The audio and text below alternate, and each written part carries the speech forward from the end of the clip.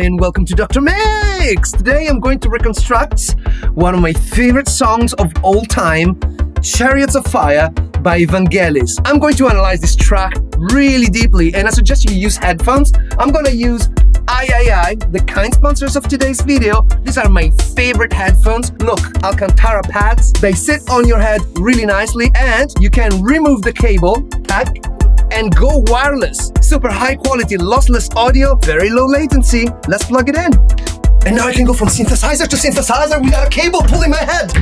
By the way, if you haven't subscribed to this channel, I don't know what you're waiting for. Come on, you can do it. Yes. Yes. Thank you. Also, big thumbs up. Yes. That helps a lot and doesn't cost you anything. Thank you. Chariots of Fire. How you doing, Louis? I'm well. Oh, good. All right, let's listen to this masterpiece. Yes.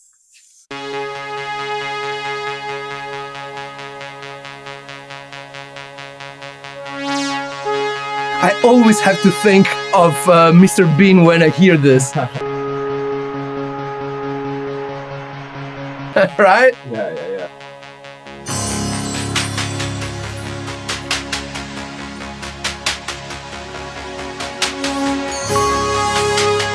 CS80, we know that? All right, all right, okay, okay, okay. All right, so we have a few elements here. We've got the which is, I think, what we should do first, right? That Hmm. and then we have, of course, the piano, which is gonna be last. We have that CS81. We have the pads, and we have some stuff that comes in sometimes. How about if we use? I mean, he would have probably used the Moog, right? Mhm. So let's use the Moog. Let's do it. Let's go. White noise percussion thingy. Obviously, we need a noise for this. How about if I turn off the oscillator and turn on the noise? There you go. Pretty straightforward. I mean,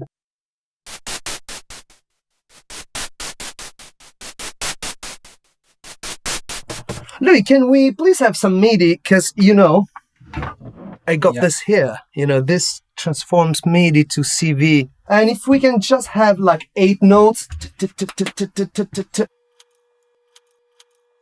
Okay, go. Can you make them a bit shorter? Yeah. I think this is fine. Can we listen to the original one? I think I can work it out with a bit of decay. There's a little bit of closing and opening of that filter. Let's do it.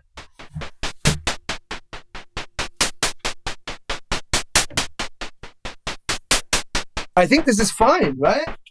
That's good. Yeah, these two are, are good. Let's go with those two. Maybe there is some reverb or delay on the original one. By the way, if you want to know how I figure out all of this stuff, I have a course where I explain everything in great detail. Check out my video course, Music Producer Gold Guide. I explain everything about music, harmony, arrangement, production, mixing and mastering, but also what it takes to be a producer in 2023 and the future. Next! Monophonic sequencer bit. For the Mr. Bean sound, we're going to use the Juno 6. Can we please play it for just a sec? Alright, probably.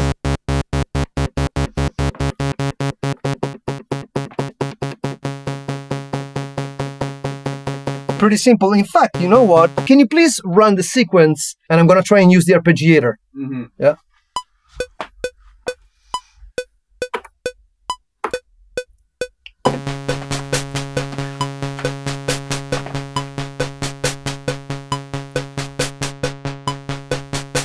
Sounds pretty right.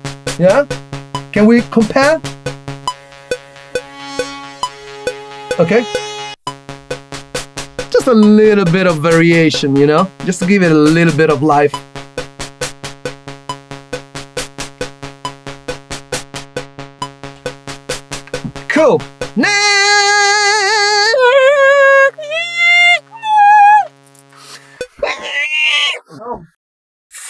Horn synthesizer. Doo-doo. All All right, let's listen to the original for a second. Oh, this is the CS80, isn't it? So I have various options to replicate the sound, but there is one synthesizer that does it straight out of the box. The Hydrasynth, right there. All I need to do is select Blade Titles.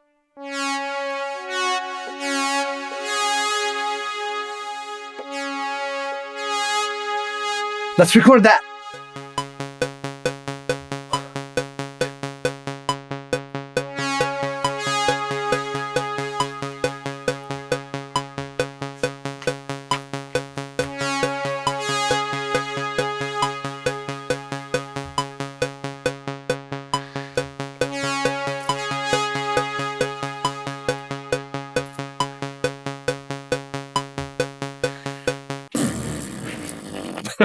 Maybe we could use some extra power from Prophet 5.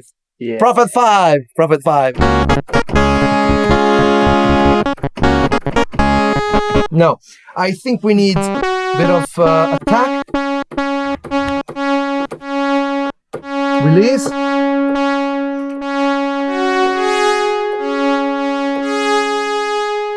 Right? Right? Yeah. Okay. nice. Let's double it up.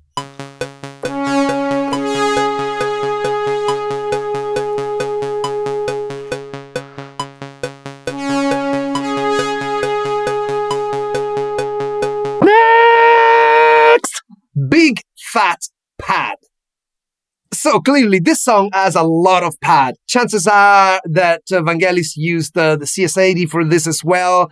You know, it sounds like a pretty basic sawtooth. There is a little bit of Solina, maybe inside of it, or something like an Eminent kind of thing, or maybe it's just a flanger. I'm not sure. But I'm gonna start with a basic Juno 106 pad. Bit of attack.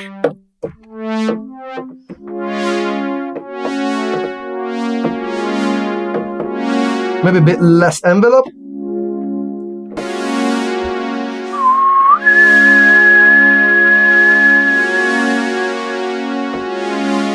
We're gonna use chorus number one. I prefer it. Straightforward. Shall we record? Yeah. Good.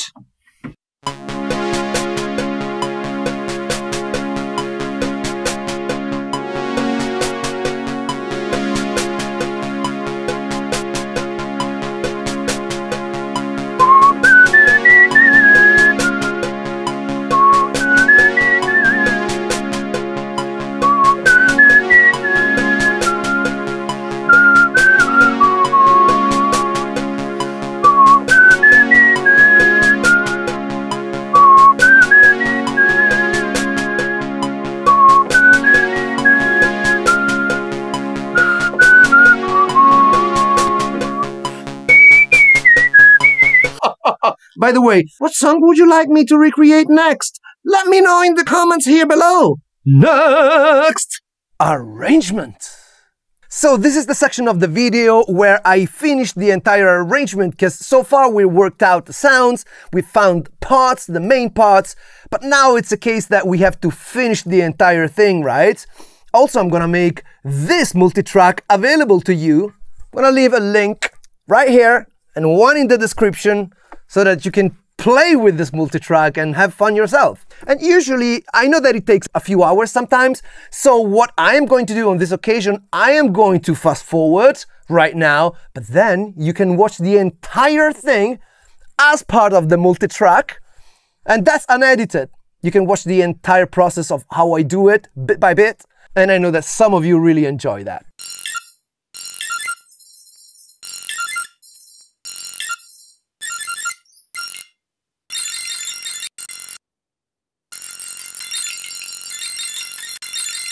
You know, by, by the time you get to this point of depth, you won't be able to tell the difference.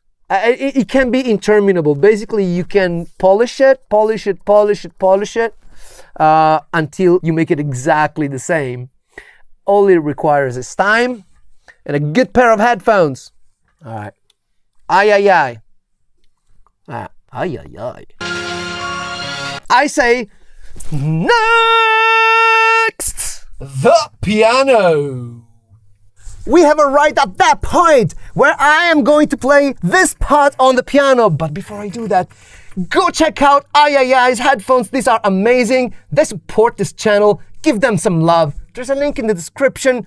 Go check it out. And now, let's play Chariots of Fire, shall we? Let's go.